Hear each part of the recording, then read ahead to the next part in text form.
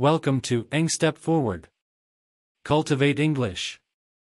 Harvest Dreams. Hello friends, in this video we will see some English uh, words that are derived from Arabic language. Number 1 algebra. Algebra is uh, derived from Aljabr uh, which became the part of English language in 12th century. Number 2 alcohol. Alcohol is derived from Alkuhl which became the part of uh, English language in 11th century.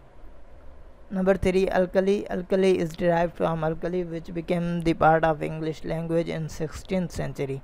Number 4 assassin. Assassin became the part of English in 13th century. It is derived from Hashshashin.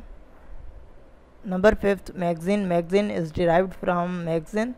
Magazine which became the part of English language in 16th century. Number 6 monsoon. Monsoon is derived from Mausim which became the part of uh, English language in 16th century. Number 7 Sofa. Sofa is derived from Suffah which became the part of English language in 17th century. Thanks for watching.